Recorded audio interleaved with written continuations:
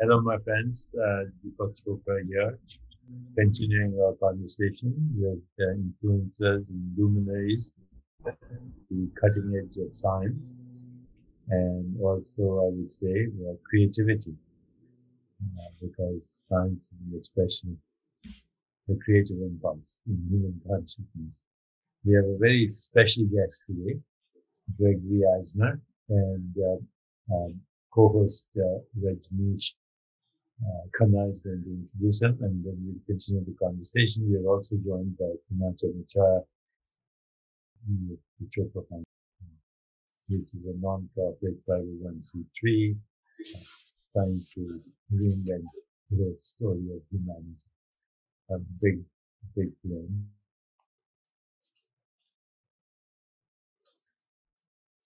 But uh, lots of people. So, uh, Rajnish, please introduce our special uh, eminent guest. Uh, thank you, Deepak. And it's a great pleasure for me to join uh, in another recording here with you.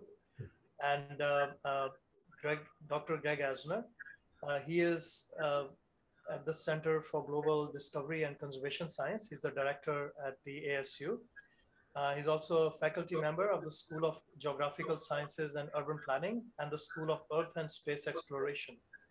Uh, he's an ecologist. He's quite uh, well known. Uh, he's uh, participated in several programs with NASA, United Nations, anything that has to do with observation of Earth from space and looking at conservation, biodiversity, carbon cycle, animal habitat interactions, climate change, he's uh, I'm so inspired by everything that he does. And one time I asked him, uh, you know, where he was, and uh, I can't even remember where he said, but it was a small island. So I asked him, uh, "What are you doing there?" I loved his response. He said, "Global ecology." So he literally travels uh, everywhere around the globe, and uh, we met a few years ago because we were both working at Carnegie at that time uh, Greg has moved on uh, from there since.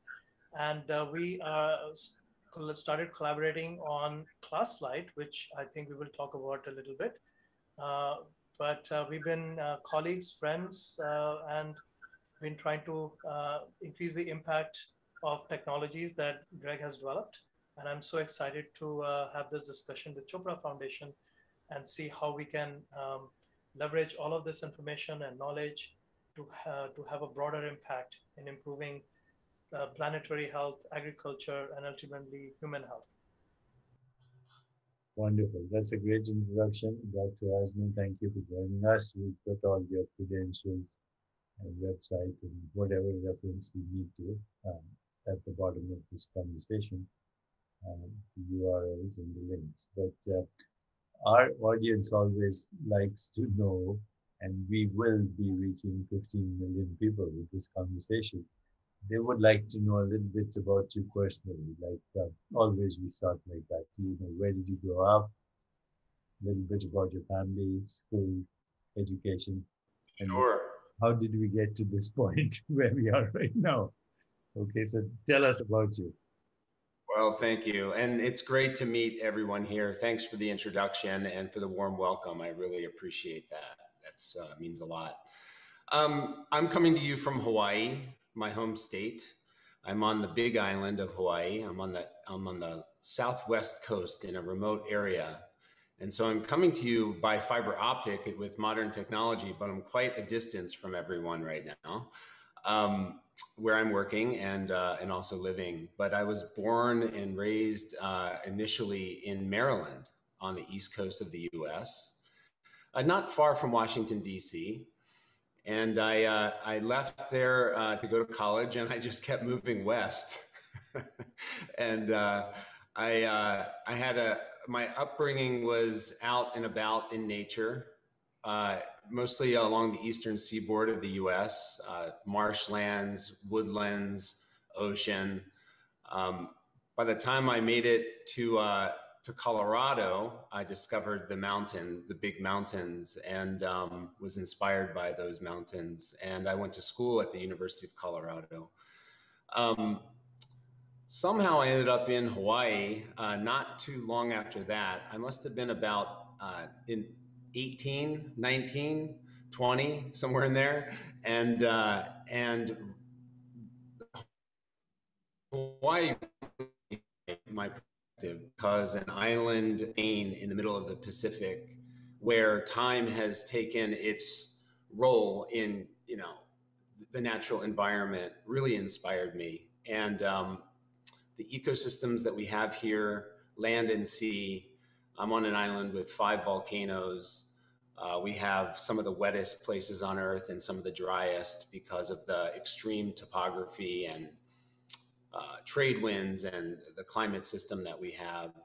Uh, it just changed my perspective, and um, and and formed my my sense for nature in a in a more profound way as I as I got older. Uh, fast forward more years, and uh, it was I've realized I needed to, to, to take my education to a higher level, especially after working for a, a nonprofit called the Nature Conservancy in Hawaii. I felt that it was uh, it was a great start in in this field, but I needed to get more technical training, so I went back for a PhD back in Colorado, and uh, I, that's when I got into satellites and technology and methods for understanding uh, ecosystems and and uh, and and figured out over time through my PhD that there was no way to really scale up our understanding without the use of technologies like satellites. So uh, that was a major um, part of my my training was was not just the understanding of the need, but also how to do it. And um, back then, satellite imagery was hard to come by, extremely difficult to come by. Um, NASA had a few uh, satellites in orbit. European Space Agency had a few. Uh, that's probably 1995, uh, uh, 97. Uh, very different than today, where in 2021 we have many governments that have Earth observing capabilities. Um, we also have private companies that play a major role in that space. So the world has changed in, just the way cell cell phones and those types and laptops and those types of technologies have evolved so has earth observing. And we in my world we use these technologies to understand our, our place at the planet planetary level and our impact in a way that helps us to manage the earth system better and better and better as, as participants in it. So that's you know a, that's a kind of a uh, in a nutshell, the, the, the major phases of my um, professional and aspects of my personal life that got me to where I am today. And right now you're in Hawaii, uh, in, in some remote. And what are you doing there right now? What am I doing in Hawaii? Uh, I'm working from here, and it's not only because of COVID 19, but also because I still am inspired by this place. It gives me new ideas many of the innovations that we've taken globally were you could say we're born and raised technologically here in Hawaii, where um, you think of new ways to monitor the earth, you test them out. We have mountains here, we have alpine systems, we have tropical forests, we have um, desert like systems, we have um, coral reefs. So we have a huge range of ecosystems here in Hawaii that it's almost like a model a model system to um, practice and develop new techniques. And um, so I continue to do that from here. I have a laboratory here. I have a staff here. We've, of course, we've always had a staff on in our mainland campus as well. Um, when I first met Rajnish, as he said, that was at the Carnegie Institution, which was is on Stanford campus in uh, south of San Francisco. And now that part of my program has moved to Arizona but it's the same mix. We have a technology group back in Arizona now that's doing something called data science. It's compute, computational analysis of satellite imagery. And then we have our, our program in Hawaii that blends with it to um, provide this model place to, to test where we have all of these ecosystems in Hawaii. And so I, te I tend to bounce between those two locations if I'm not out doing global ecology somewhere else. So, Greg, what would you say is the current state of Lanzarote? Uh, if we were thinking of our planet as a biological organism, uh, with the ecosystem as a self-organizing, self-regulating system. Where are we right now? What is the state of the planet? What are your initiatives, and what do you think is the vision of how we could uh, possibly reverse some of this uh, information that's going on at every level microcosm. And then after you finish uh, giving us the answer, I'd love to know, Rajnish, how the two of you uh, think we should be going in the future. And then I'll bring in Poonacha to make some comments. Go ahead, sir. Thank you. I, you know, I think that the answer to your question rests in my experience over the past 25 plus years of doing this. And that is 25 years ago, it was more of an investigation of a, a, scientific curiosity where we're wondering what is our impact on the planet? Are we, eh, whether it's the climate system portion of the planet or if it's um, uh, our forests, our coral reefs, fast forward to today and it's we're more in a re responsive mode almost like a medical center. Um, my my life and the life of my colleagues and my my own uh, laboratory went from primarily curiosity driven 25 years ago to primarily responsive to problems to issues to the need for um, interventions and for um, uh, solutions uh, to the the types of challenges we're facing at at, at larger and larger scales. And uh, people hear about it. People hear about the climate system changing. People hear about biodiversity loss. People hear about food security issues. These are all real issues that are day to day in my world and and we're we're busy trying to tackle them in partnerships in collaboratives and my and what our team what our group and what a lot of what we're talking about today brings to that table are technology aspects of the solutions. Uh, the technology won't solve the problems but they help us understand them and address problems at larger scales. And so that's a lot of the focus today. And um, and it's it's hectic. There's a, there's kind of a pace to it that's uh, you got to get up in the morning ready to go. There's going to be a busy day ahead, and um, it it never stops. It it's if if anything, it's accelerating.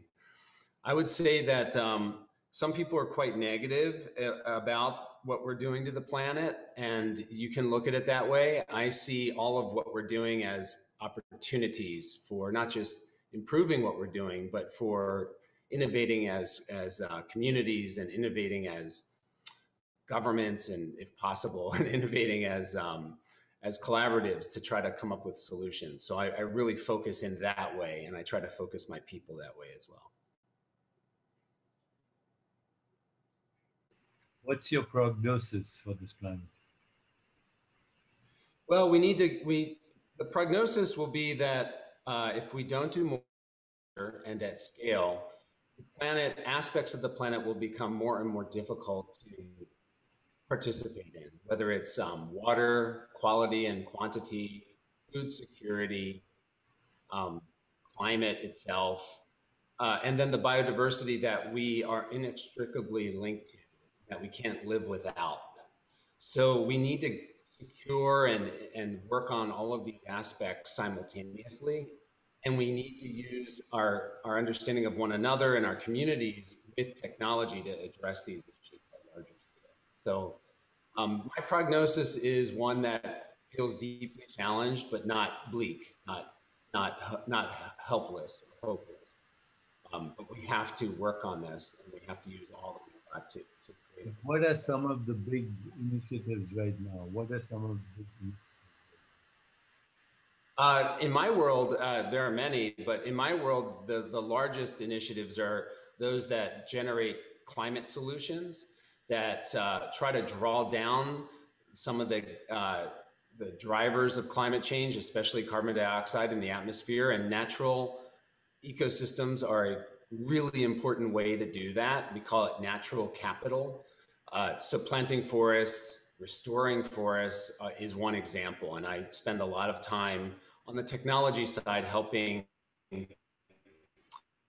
governments scales from municipality to inter, intergovernmental scales to generate those carbon sequestration or carbon capture type of um, activities. And, and, and that's what uh, an entire genre. Equally important is the need to stabilize and reduce the really rapid loss of biodiversity that's occurring. Um, biodiversity is important for many reasons whether they're cultural traditional practice tourism uh, but people don't often recognize that they also help stabilize a lot of our natural ecosystems so that they don't go through wild fluctuations. Uh, natural ecosystems with lots of biodiversity are self-regulating.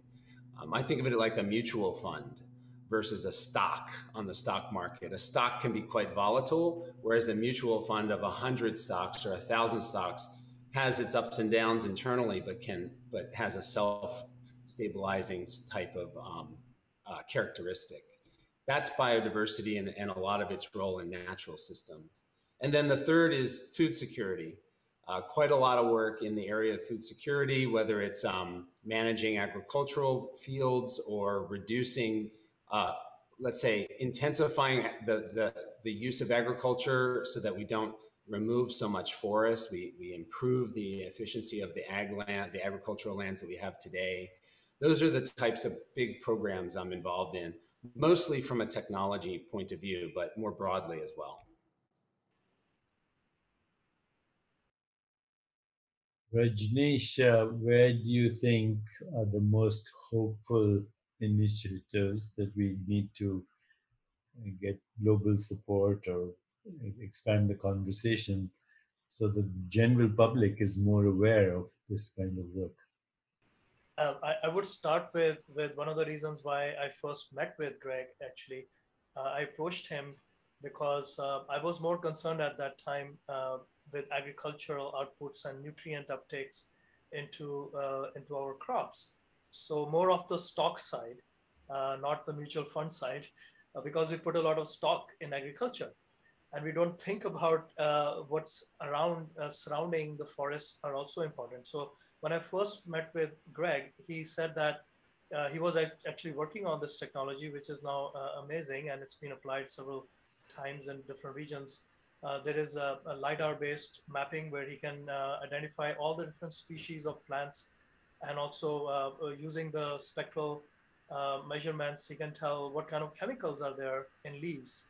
So, so the nutrient-wise, even these explorations can tell us how healthy the plants are, what species are there in the entire forest. So that was exciting. Obviously, agriculture is easier that way. So I think in terms of telling the public, uh, it's, it's about looking at our planet as one whole. And what we do in agriculture uh, is important to us. Uh, and uh, the planet allows us to do that. But then we need to be mindful of the forests and all the surrounding areas that are planet's lungs. And and it's so important for survival of this of ourselves. So uh, that's i think globally uh, is what i'm really interested in now.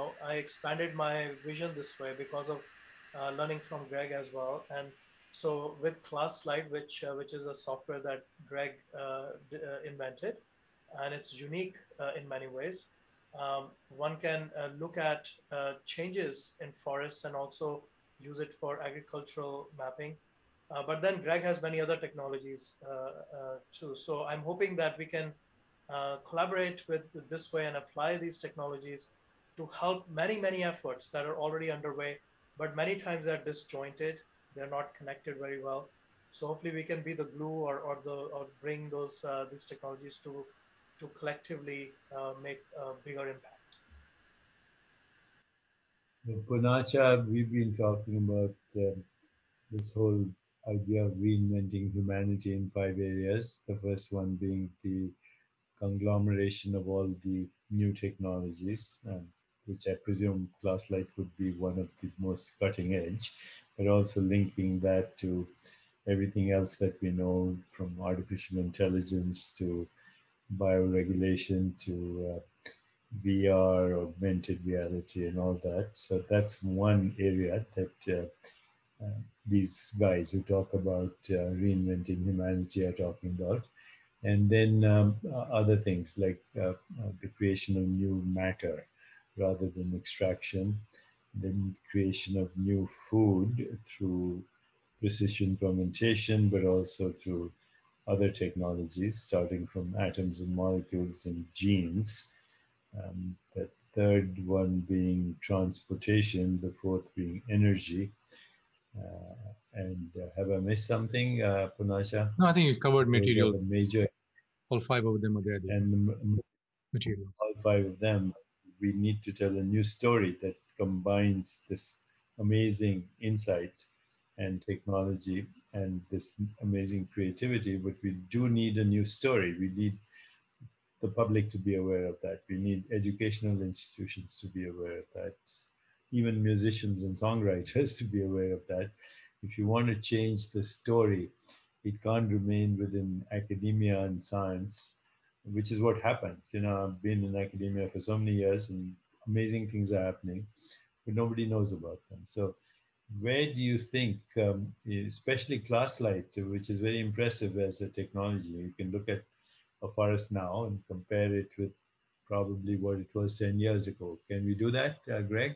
Uh, or uh, any environment, natural environment, we can actually look at it now, look at it where it was then, and even predict where it's going. So first, Poonacha, uh, any comments from you, and then back to Greg. So I think I have a couple of questions actually, Greg. I think this is very interesting and fascinating as a technologist. You know, you have a plane which you can fly with LiDAR, but I think with IoT, awareness is key to transformation. Like people don't get diabetes overnight. You know, forests don't disappear overnight. Like some, in some areas, I guess they do, but it's a slow kind of, if, if I knew what is happening in my community, I would be more aware. Your financial system is not good, you have a credit score, right? You have a, you have a, a dashboard in your car but as we look at ecology, the environment, there's no dashboard. So one of the things when you look at this technology, look at urban air, we are a place called Lake Nona, which is home of the Chopra Foundation, Orlando. I'm fascinated to bring this technology.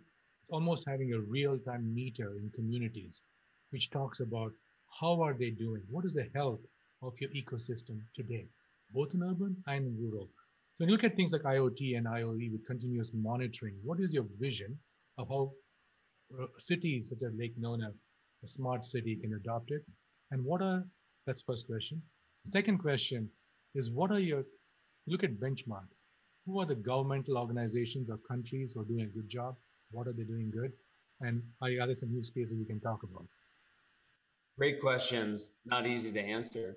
But um, yeah, I mean, in terms of the technology and its role in creating kind of real-time dashboard, the capability to understand what's happening, but in a way that's actionable or that you can be community, whatever scale we're talking about, the community, the city or the county or the, the, the state or something larger, whatever, the technology has to be able to make action uh, possible, obviously. And that is by, I guess, a few different characteristics. One is the data, the information have to be easy to access. And so CLASlite, you know, um, Deepak said something super important about uh, coming out of the academic world. You know, it's working with Rajnish and getting this kind of technology out isn't just, okay, here's software, have at it, enjoy. Uh, please, good luck. It's really a process of partnering outside of academia and then embedding it in uh, communities at different scales. So, and then the technology has to be uh,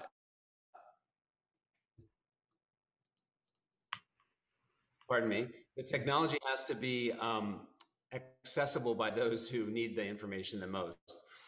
The second characteristic that I cannot emphasize enough is that the information that we glean from the technology has to be resolute or have meaning at the scale of the human enterprise, at the scale of something you and I understand, trees, for example, not something broad and esoteric, not a not a picture, not a map that that by by virtue of the map right away you don't feel connected to the to the environment around you. So CLASlite is designed to be information rich and and fine resolution like like geographic resolution detail but also the information is rich so that uh, we're to it when it comes out of the computer so to speak um, and the third is that it needs to be timely and so CLASlite was built to uh, be able to do all of this by you know almost non-experts. You need some training, but there's, you know, quite a low bar. We've lowered the bar from that esoteric academic bar to something that many people can can um, pick up and use and and that makes the information more and more timely so that we're not waiting a year to find out that we lost our forest three miles away uh, and just didn't notice it because it's behind you know a hedge or behind out of sight. And so you know the all of this has to come together and we focused very much on on making those major characteristics uh, blended and, and, really come out in a product like CLASlite and other products that we that we've dealt with that we've created. I want to ask you one more question to that. Is this is this a possibility? So one of the visions I had in Lake Nona, the community I am in, I'm in, is to have a social network of trees, an Instagram of trees.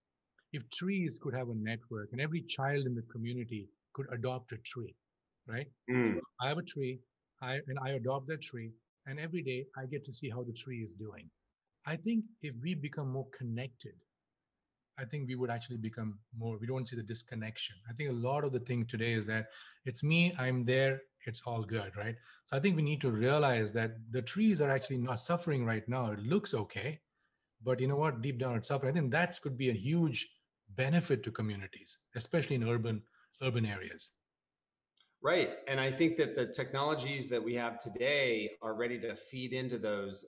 I don't know if there's social media platforms or apps. If there's some sort of way for people to connect through the technology, not with the technology, but use pass through that technology to those trees and to be and to have that connection. And that's cert, from a technological point of view, that's certainly achievable. Uh, it's really a social science and a social um, engagement problem more than a technology problem at this point. Rajnish? Yeah, uh, I think uh, you know, especially for Lake Nona, uh, that is certainly possible, and it could be a good place to pilot something like that, uh, and uh, even have an app where uh, some of the information about the trees that the people are interacting with is fed to them, and so they get excited about it every couple of times a month or something like that. But then, you know, also going back to what Deepak was saying earlier I, I completely agree. I think the the reason uh, I even started i-Cultiver, which was about five years ago, was exactly to do that because there is so much technology in academia and it's so well understood and uh, it can do amazing things but it's very difficult for it to actually step out and actually do those things and a lot of that is because of uh, many ways that we are we people uh, who are doing different tasks everywhere we are so used to doing them in certain ways and we are happy with the things just the way they are. It's very hard to think look at something and uh, accept it and then adapt it. So uh, hopefully um, you know i-Cultiver is, is just a node and uh, uh, uh what we have done is brought in uh, experts like greg and you know other people in the food and agricultural area and consciousness. And hopefully we can bring all these people together in one platform with technologies. And, and at some point, we can start to make those connections, especially with the Poonacha's dream uh, of IoT, because all these data can feed into, into this, uh, uh, keeping a pulse of the planet and keeping a pulse of each location. Uh, so we can act when there is a need uh, to act somewhere. So, you know, as I was listening to this conversation, especially what Greg said, you know, the big picture is so complex and complicated that you have to start with something little like a tree. Okay, let's see the health of the tree. Uh, or let's see the health of this particular species of plant or animal, whatever. So I want to share with you a story, um, which is anecdotal, but I'm sure we can find the reference sometime, somewhere. But um, about 25 years ago, or 20 years ago, I read about a hybrid uh, rice that was introduced uh, to a population somewhere in Bangladesh. And forget my, you know, uh, forget all the details, but I'm giving you the story, okay? the gist of the story. So hybrid genetically engineered rice is introduced to the community, let's say Bangladesh, and it replaces the crop that they usually have, which is basmati rice. Okay, and as you know, some of us who are fond of basmati rice, it has a very wonderful smell to humans, but apparently has a smell to birds and bees too. So when this was replaced, uh, the birds, the bees started uh, avoiding this particular region. This altered the entire ecosystem, uh, the entire flora and fauna of the region, ultimately affecting weather patterns, ultimately causing uh, strikes by farmers, uh, resulting in mass migrations, um, changing of stock market prices, and violence. So just because one grain of rice genetically altered information that doesn't fit into the ecosystem. Okay, so now let's take that little bit of insight and ask ourselves, is any, any reductionist solution um, going to help? Or do we have to look at an entire ecosystem and everything that's happening? So, you know, you have CLASlite looking at the condition of the plant, but how about CLASlite um, 102 or 103 or 105 that looks at uh, weather patterns, that looks at the same time at, uh, at, the entire ecosystem of species. You know, we just saw in this uh, in this uh, area uh, in uh, Florida where they restored the path of the panther. as soon as they restored the path of the panther, other species got resurrected you know, uh, because, you know, what is good for one species is part of a biodiversity, uh, ecological, self-regulating system. So where can we go with these kinds of technologies in the future that we're not only monitoring um, um, just the health of a tree, uh, and you know, I recently interviewed a woman from British Columbia uh, who's written a book somewhere here, uh, have it, on mother trees. And what she says is in British Columbia, she's identified these trees that she calls mother trees that use a network of fungal a network, almost like a brain, to communicate and uh, help other trees stay in good health, not only of the same species, but other species. Now, if all that is true, then uh, there should be a way of looking at technology and algorithms that correlate one activity in the forest, which we can say is a healthy activity, and how it's altering, alter, altering the entire ecosystem holistically. Uh, just a thought, but I'd like your comments, uh, Greg, and yours too, Rajnish finally, uh, Poonacha, where we should do. You know, we have some very big initiatives coming at Lake Nona, and maybe in other communities. So how, if you had to pick one project, let's say life, what would it be? Um, Greg? Well, you, you know, your story about the rice, it's, it's, it's so apropos and to my world. And it's interesting. I, I guess in a way, I don't know the, the, the answer, but in a way I know major steps towards an answer. And one is that, you know, in, in my world, we do we we're getting better at understanding what I would call the teleconnections between these processes that you're referring to.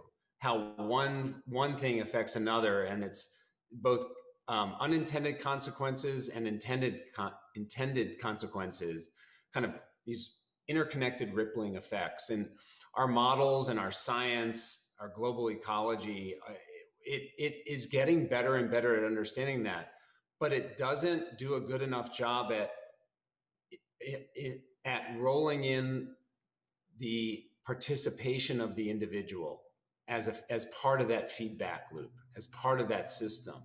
It makes it very hard it's it makes it tough in to, for us to uh, have these models and this technology and, and understand more and more and more of these interconnections that you referred to it makes it tough to make those actionable without individual human participation in the process and in the feedback loops. And so what do we do? I mean i don't know all of the answers but i know that in in my part of the of the equation i you know the technology needs to allow and foster individual participation in the context of the the more interactive larger system. Um, we're not there yet. We need to accelerate in those spaces that's just critical and it doesn't matter if you're working on a project in florida or one over here in hawaii or anywhere on the planet the same approaches probably apply where you're you're dealing with large scale forces and interactions at different scales with individuals who are participating in that process, even if they are only interested in their backyard or or their walk to work or whatever it is. It, eh, you know, we we're just not there yet at integrating those, but we need to push on those frontiers. That's that's the sense I got when you told your story. I see. Rajnish? Yes, I, I, I also uh, agree with that. I think to, to cause a meaningful change, uh, participation at, at those each uh, people who are actually uh, part of the whole ecosystem, they have to get involved. And and uh, Deepak, what what you're doing, I think, is is uh, so important to to educate people and share uh, all these things with with all the people uh, who, who, get to know uh, what is out there, what technologies, what, what we are capable of at least now, and then how we can change our habits or change what we are doing. Look at things slightly differently around us, pay attention to the trees as we go to work, um, and and then maybe we can make it more interactive. And if we can make it more interactive and engaging, then it becomes a sort of a habit. So hopefully we can uh, maybe Lake Nona and also maybe in Hawaii, uh, maybe we can start some of these programs as, as pilot to, to see if we can start to uh, um, involve more participation and engage more people uh, towards uh, causing a positive change. So before I ask Poonacha to uh, comment, and this will be the concluding part of our interview because we can't go on for more than a certain time to reach um, everyone. We can come back. Um, here's the, a thought. Uh, you know, right now in my field, which is medicine biology, um, in Washington, there are 28 healthcare lobbyists for every congressman. And, you know, uh, lobbyism is a nice word for um, official, uh, whatever you want to call it, corruption or whatever. 28 healthcare lobbyists, mostly representing either the healthcare industry in terms of pharmaceuticals or diagnostic activities, but they take congressmen out for parties and so on and influence healthcare policy. The same thing is happening in the military industrial complex. You know, it's just these lobbyists control everyone. It's very obvious that governments, and notwithstanding that there are some good things happening, but in general, governments and businesses, all these big institutions, Wall Street interests, uh, they, you know, they're short-term thinkers in what is good right now for jobs, what is good for politics, who wins, what is the next election cycle. And over the years, I've realized that unless we democratize um, certain initiatives by expanding awareness, uh, which is what we're doing, this conversation, you can only think, uh, change what you're aware of. If you're not aware of CLASlite, then you don't know CLASlite doesn't exist and it's out of your awareness. So when we expand awareness and we identify these problems, uh, Poonacha, since you know we are all about sangha, uh, global communities, and seva, which is service, and then a deeper reflective process that we call sadhana, where we say, you know, we need creative solutions if we can't depend on special interest groups. Can we create a global and I'm, I'm, you know, you might think I'm totally crazy about this, but a global volunteer army, so to speak, of younger people, including students of ecology, um, but also storytellers, also songwriters, also poets, also other people in the education field. So we have a global army of whatever we want to call them, that they are restoring peace, balance, social and economic justice, because they're connected. You know, everything is connected. Climate change, sustainability, social justice, racial justice, gender justice, economic justice, ecology, war, terrorism, and technology, good and bad, divine and divine and diabolical. This is all connected. Now, we recently launched an initiative that Poonacha has been championing uh, on mental uh, illness amongst especially teenagers and suicide prevention using an AI bot. And people are more engaged with this AI bot than with therapists, and she's actually saving lives. So, how do we democratize a movement for restoring ecology through a global network of passionate people and self-aware people who see these connections, or is that just a pipe dream? Uh, I think one of the things I want to kind of add over here, Deepak, is that what is our moonshot, right? So the moonshot is that we got to have something which can normalize conversation. So we look at inflammation. So what I was excited about last slide is that inflammation is physical. We look at five pillars of the Chopra Foundation: physical well-being, mental well-being, social well-being, planetary well-being, and spiritual well-being. If I look at inflammation as the low as the indicator of well-being, that's physical well-being. You know, the body is inflamed.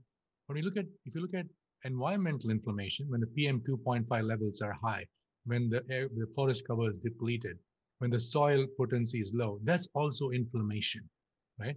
So if we can create, one of the things we have embarked on is creating what we call the well-being genome index. What is the well-being of a community? Physical, mental, social, planetary, and spiritual. I believe we can create a global index where I can go and drill down and say, what is the inflammation? What is the well-being in, in Hawaii, in India, or in a city, Bangalore, Orlando, Florida. And when people have that level of information, awareness is key to transformation. And this is where science and technology today is converging. We, we could not do it before because we didn't have the resolution of mapping.